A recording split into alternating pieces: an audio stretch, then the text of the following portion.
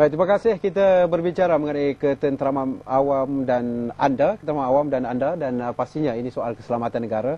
Saya cukup berbesar hati pada kali ini uh, di uh, ruang bicara ini uh, yang dihormati Datuk Seri Saleh Marasid Pengarah KDNKA Bukit Aman sudi bersama kita untuk menjawab segala persoalan dan uh, khabarnya ada pemanggil yang berada di talian. InsyaAllah kita ambil pemanggil terlebih dulu. Hello. Assalamualaikum Cik Aziz. Ya, uh, saya ada dua soalan uh, nak berkongsi dengan Datuk Seri ini. Silakan. Uh, pertama sekali, uh, dalam berti Datuk, uh, dalam istilah keselamatan dan keselamatan awam ni maksudnya bila sesuatu keadaan itu dah dah dah mula wujud ketegangan itu pun saya rasa dah itu dah dah mula berlakunya public order.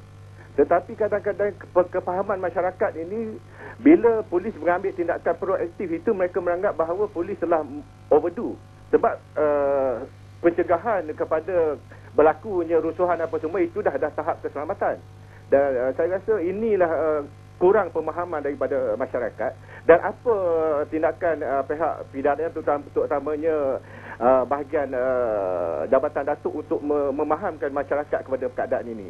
Yang kedua Datuk, uh, kita dapati bahawa ada sekarang ni bahawa tak, tidak ada tanggapan dibuat berdasarkan fahaman politik. Tetapi ini saya rasa satu satu kenyataan ataupun satu undang-undang uh, yang mana kita dapati susah untuk memisahkan mereka bila tindakan itu diambil di bawah politik tapi untuk mengganggu dan juga mengancam ketetapan awam. Macam mana Datuk uh, cuba mengupas perkara ini? Uh, itu pandangan saya. Terima kasih. Baik, terima kasih. Saya nak beri ruang kepada Datuk Seri bercakap tapi belum letak telefon tu dah ada telefon lain. Tak apa, saya bagi dia kampus sekali aja. Hello. Hello, Assalamualaikum. Waalaikumsalam warahmatullahi Assalamualaikum Datuk Seri. Apa khabar Datuk? Assalamualaikum warahmatullahi Khabar baik. Uh, Okey Datuk, saya nak bertanya satu soalan mengenai kita. Saya Sufian daripada Setiawangsa. Hello. Ah, ya, silakan silakan. Uh, saya nak bertanya satu soalan mengenai ketenteraman awam terutamanya sepenuh sambutan tahun baru 2014 ni. Hmm. Sebab di dalam media sosial, uh, FB dan sebagainya ada mengatakan akan diadakan satu perhimpunan rakyat pada malam tahun baru di Dataran Merdeka. Hmm. Boleh saya tahu apakah persejalan PDRM dalam menanganinya? Ah baik, itu saja terima kasih. Ah, okay, terima kasih. Okey, tunggu depan TV. Insya-Allah Datuk Seri akan jawab. Uh, saya rasa Datuk Seri ya. Uh, perkara yang dapat uh, kita lihat ni uh, semuanya berkisar mengenai peranan uh, pasukan polis dan saya yakin bahawa uh, kalau kita lihat bagaimana kenyataan uh, ketua polis negara juga uh, soal sifar toleransi ini dengan 4P yang dicadangkan itu yeah. mungkin Datuk Seri boleh uh, rangkum semua itu. Okey, uh, di mana yang uh, saya ingat uh, yang uh, dihormati Tan Sri Ketua Polis Negara telah menggariskan fokus utama hmm. semasa dia mengambil alih sebagai Ketua Polis Negara. Yeah. Yang pertama sekali dia katakan dia fokus kepada ketenteraman awam. Ya. Yeah. Ini dia letakkan yang prioriti yang pertama. Betul. Ha. Mengapa? Apa yang telah pun berlaku hmm. supaya tidak akan berlaku lagi. Ya. Yeah. Jadi saya nak berbalik kepada uh, Akta Perhimpunan Aman tadi. Hmm. Uh, kita bercakap berkenaan hak asasi manusia untuk boleh bercakap, boleh berhimpun, bebas beragama dan sebagainya. Hmm. Tetapi dalam perhimpunan aman ataupun perhimpunan yang dibuat ni, kita kena melihat dua belah pihak. Sebelah pihak adalah pihak yang ingin berhimpun. Ha, ha. Yang ingin berhimpun ataupun yang ingin bercakap. Ya. Dan sebelah pihak lagi, kita kena lihat juga di mana dia orang nak berhimpun dan apa akan implikasinya yang akan jadi apabila perhimpunan itu dibuat. Ya. Itu sebabnya dalam Akta Perhimpunan Aman ini dibagi ruang 10 hari untuk pihak menganjur memaklumkan kepada ketua polis daerah yang berkenaan di mana perhimpunan itu hendak diadakan. Ya. Ini adalah disebabkan ketua polis daerah ini akan membuat proses permohonan ini yang mana dia akan mewawarkan kepada di semua tempat ataupun orang di mana perhimpunan itu akan diadakan sama ada mendapat bantahan ataupun sebaliknya. Ya. Yeah. So mana ke sini kita buat pertimbangan kedua-dua belah pihak. Hmm. Orang yang akan membuat perhimpunan dan di mana tempat itu akan dibuat perhimpunan. Dan kita minta siapa-siapa juga yang ingin mengadakan perhimpunan ini mesti mendapat kebenaran tuan punya tempat yang berkenaan. Hmm, premis uh, premis yang berkenaan. Yeah. Ini mesti nak. Sebab kalau kita buat tidak ada izin daripada tuan punya tempat itu, Hmm. benda ni tak boleh jadi. Ya. Tak Jadi, itu sebabnya kita kena melihat apabila kita buat perhimpunan ini, kita mesti tengok dua kedua-dua pihak. Pihak polis akan melihat kedua-dua belah ini sebab kenteraman awam itu cukup penting. Hmm. So, ini yang macam saya katakan, saya boleh jawab tadi. Ya. Apabila jadi satu-satu perhimpunan yang tidak kita benarkan, Hmm. yang melibatkan tempat-tempat yang boleh menjejaskan ekonomi seperti orang-orang yang berniaga, ini yang jadi sekarang. Hmm. Tetapi kalau permohonan ini dibuat kepada pihak polis, kita akan proses. Kita akan panggil penganjur. Kita akan berbincang. Dalam akta ni cukup cantik kita tengok. Dia memberi ruang Ya. kepada pihak penganjur, pihak polis untuk berbincang. Dah dapat perbincangan satu keputusan yang positif. Tidak boleh menggugatkan sebarang keteraman ataupun kesilapan. Orang yang nak berhimpun pun senang hati. Orang di mana tempat nak berhimpun itu pun senang hati. Hmm. Jadi barulah pihak polis boleh mengawal ataupun memberi apa juga bantuan supaya membolehkan perhimpunan ini berjalan dengan lancar dan tak terjejas kepada keselamatan. Hmm. Satu perhimpunan Datuk Seri yang diadakan di uh, Stadium Merdeka. Uh, kabarnya kalau kita lihat uh, dalam blog-blog ada menyebut soal uh, ketidakhadiran polis dalam uh, perjumpaan itu. Uh, mereka dakwa bahawa perjalanan proses perhimpunan berjalan dengan aman dan damai. Berbeza dengan perhimpunan bersih uh, 2.0 dan 3.0. Ini perkara yang harus uh, kita dapat penjelasan daripada pihak polis uh, Datuk Seri. Saya ingat itu contoh yang cukup baik. Hmm. Kita tengok bersih uh, bersih satu, bersih dua, bersih tiga, apa yang terjadi? Hmm. Kalau kita tengok perhimpunan yang dibuat di stadium mereka, itu adalah apa yang sebenarnya? Format yang betul. Format yang betul. Hmm. Mereka mengadakan dengan mendapat uh, uh, kelulu, bukan kata kelulusan pihak polis, Hmm. berbincang dengan pihak polis. Hmm. Kami juga meletakkan anggota-anggota di tempat-tempat yang sesuai untuk mengawal sepertinya lalu lintas supaya jenayah tidak berlaku dan benda ini berjalan dengan lancar dengan baik. Tetapi saya pun kadang-kadang Pening juga. tak pening juga tak faham Ha. mengapa dia nak sangat polis ni bertindak. Hmm. Ah, Ini soal. Hmm. Mengapa nak sangat polis bertindak? Ini menampakkan bahawa ada tindakan-tindakan provokasi terhadap polis. Ya. Dan pihak polis kami pun tak nak bertindak sebenarnya. Kami akan hanya bertindak apabila keadaan memerlukan. Keadaan macam mana? Keadaan apabila keteraman awam itu tak terjamin. Ya. Yang melibatkan nyawa dan juga harta benda. Hmm. Pihak polis kena bertindak.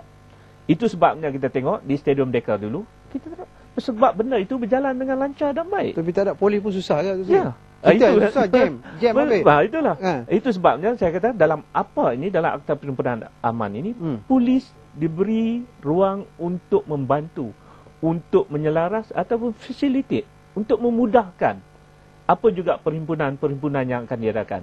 Tetapi tempat tu yang mustahak. Hmm. Dia Seperkara yang membimbangkan Datuk Seri apabila mengaitkan golongan muda generasi akan datang ini uh, dalam golongan sasaran mereka untuk ramai-ramai datang. Ini perkara yang harus dibina. Bagaimana program kepolisian uh, yang dicetuskan dengan uh, IPT APTS untuk mengekang perkara-perkara ini Datuk Seri? Okey, pendekatan kita PDRM kepada remaja-remaja yang orang kata berjiwa yang cukup orang kata positif ataupun yang bersemangat ini. Uh, kita ada uh, program-program yang kita buat di IPT IPT Hmm. yang mana melalui suksis Hmm. itu sendiri Ya. dan pendekatan kita juga kepada sekolah-sekolah di sekolah menengah, sekolah rendah.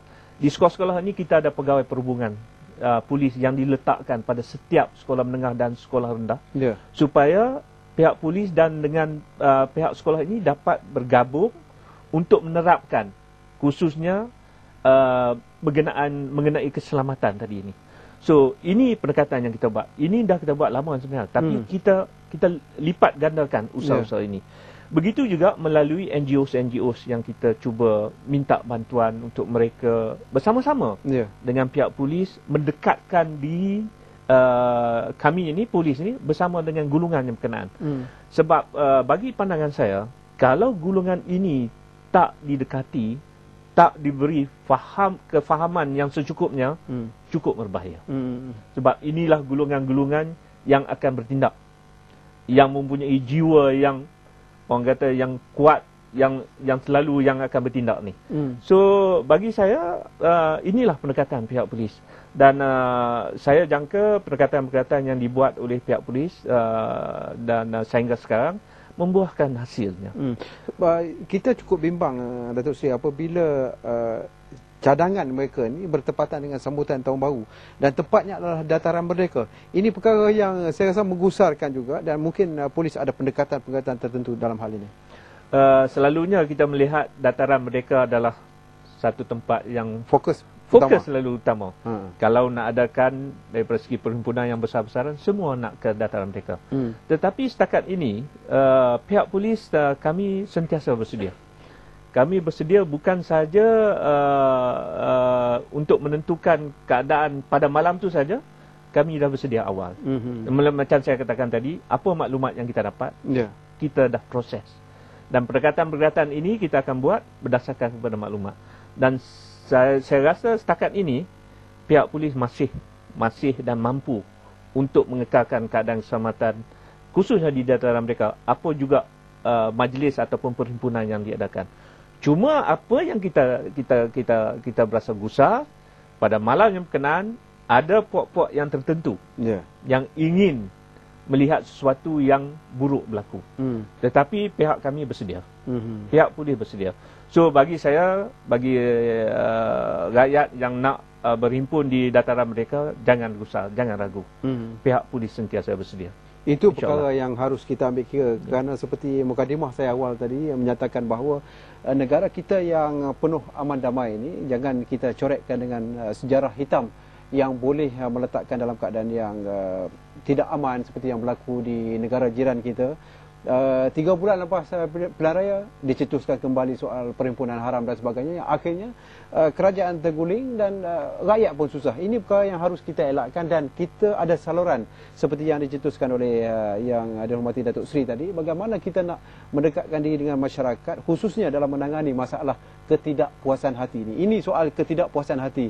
Rebut kasih sayang ni payah kadang-kadang. Sejauh mana yang dapat kita lihat bahawa uh, ini perkara yang harus kita bendung dan berilah kerjasama kepada polis. Saya pun uh, kesian juga tengok Datuk Seri uh, yang bekerja keras selama 40 tahun dalam polis. Ini masalah yang terakhir yang harus dilihat sebagai kepentingan negara. Baik, ada pemanggil di talian. Halo. Halo, Assalamualaikum. Waalaikumsalam warahmatullahi Oh, ini panggilan dari Sabah. Ya, dari Sabah ya. uh, ini berhubung dengan perhimpunan aman. Uh, aman macam mana pun biasanya apabila uh, pembangkang merancang untuk mengadakan sesuatu perhimpunan, kadang-kadang timbul berbagai-bagai uh, provokasi ataupun persepsi buruk seolah-olah apabila pembangkang mengadakan perhimpunan sesuatu yang buruk akan berlaku yeah. maka polis akan bersedia macam-macam dan akibatnya masyarakat akan menjadi bingung hmm. uh, jadi sebenarnya apa yang sebenarnya berlaku yeah. cuma kadang-kadang lebih kepada provokasi dan uh, persepsi terima kasih baik terima kasih kita beri ruang kepada Datuk Seri uh, uh, meneguk air yang telah pun sejuk dalam gelas buat seketika. Kembali nanti insyaAllah kita akan terus uh, berbicara mengenai ketenteraman awam dan juga anda. Jadi jumpa lagi selepas ini.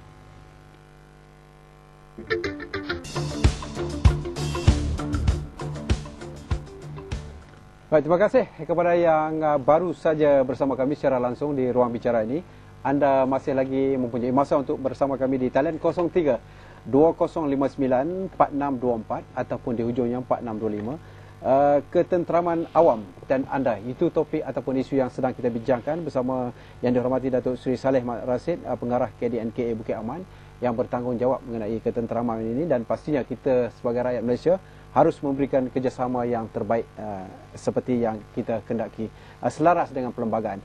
Baik uh, Datuk Seri tadi ada sebut soal saya nampak bahawa persoalan itu saya timbulkan di awal. Uh, uh, cetusan uh, perhimpunan kalau dilakukan oleh pihak pembangkang uh, polis akan bertindak secara agresif. Sejauh mana benarnya apakah ini sebagai persepsi ataupun bagaimana itu seperti benar yang saya bagi tahu tadi apa juga uh, tindakan pihak polis kami berdasarkan undang-undang. Hmm. dan uh, berdasarkan kepada apa juga uh, SOP yang telah pun ditetapkan. Hmm.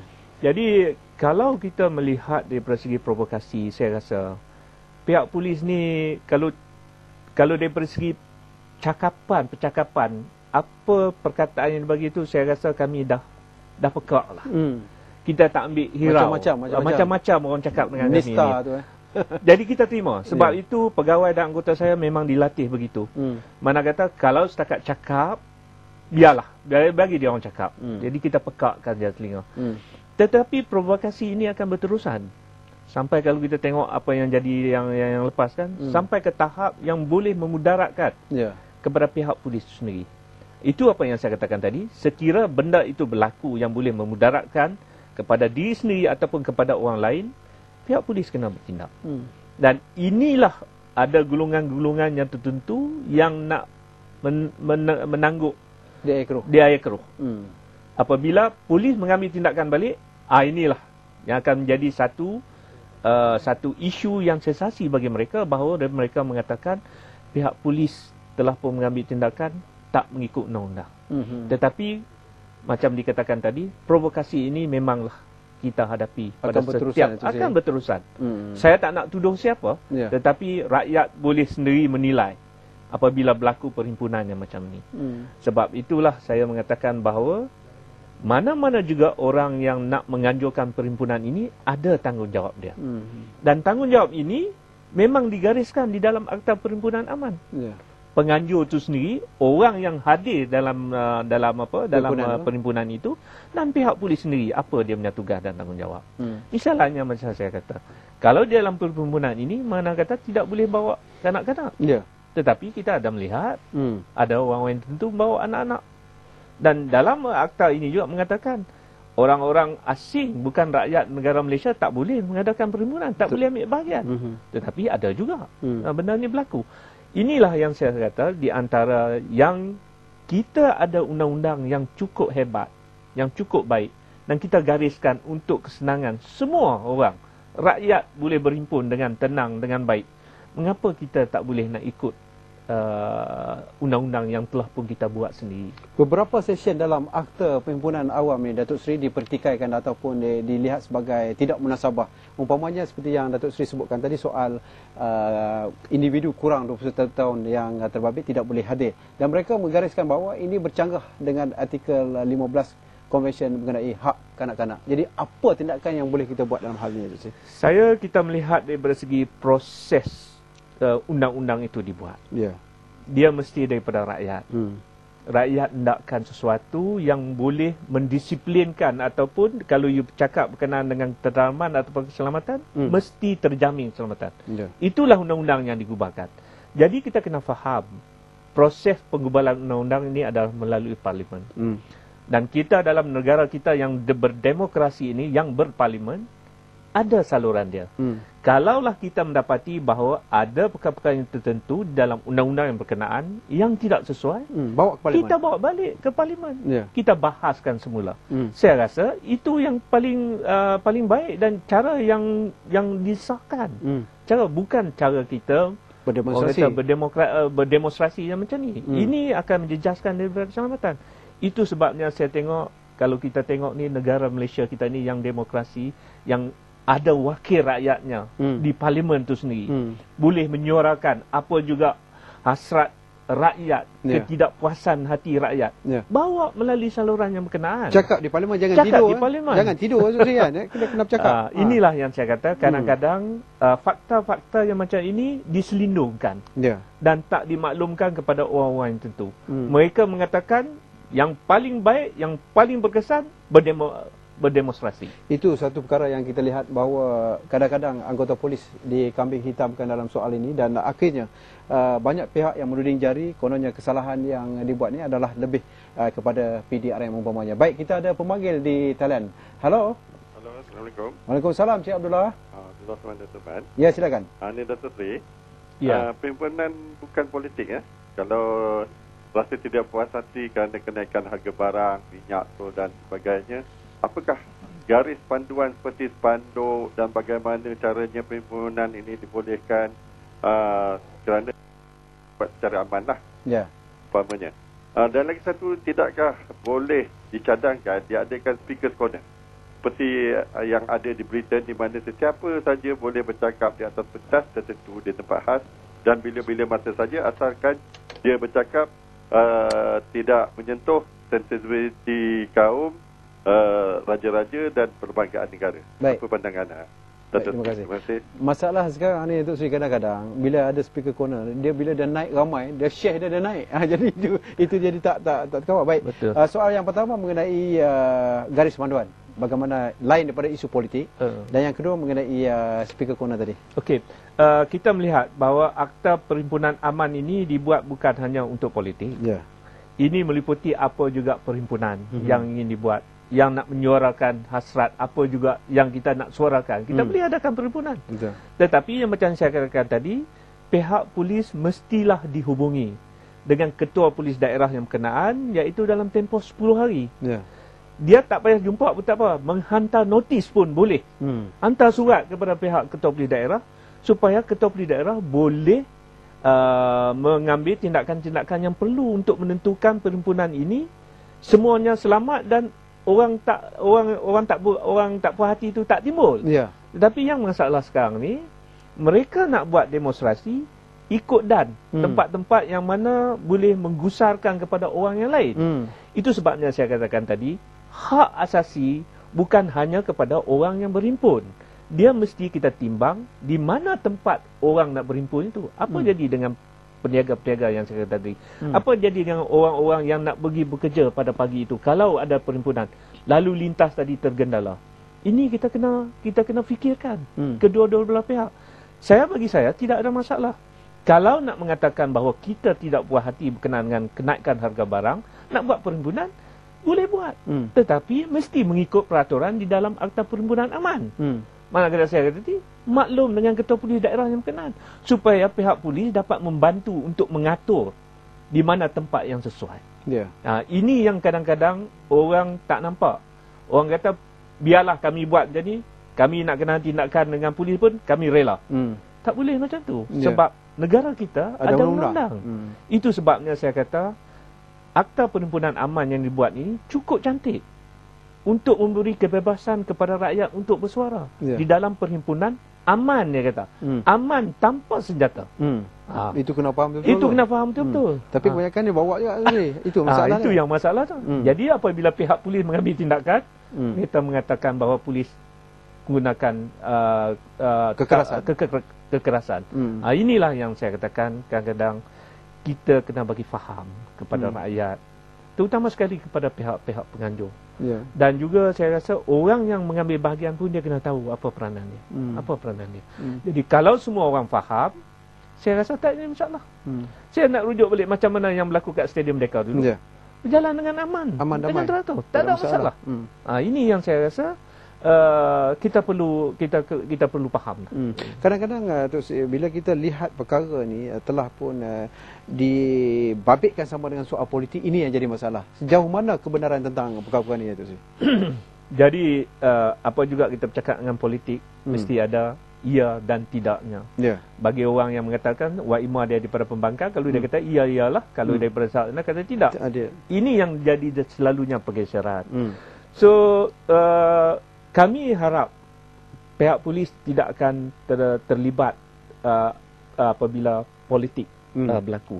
So kita tidak mahu bahawa uh, pemikiran kita apabila mengambil tindakan berdasarkan politik. Hmm. Tidak. Itu kita kena sebab pihak polis akan bertindak sama, Profesional. profesional, Hmm.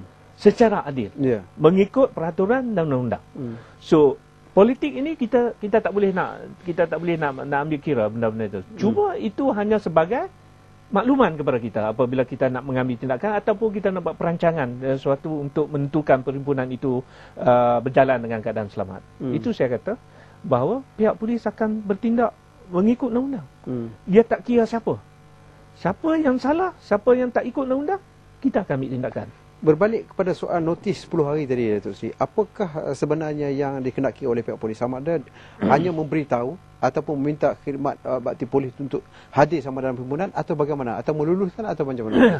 Kita tengok dalam akta perhimpunan aman ini, Ya. pihak polis tidak tidak diberi kuasa untuk melulus. Ya.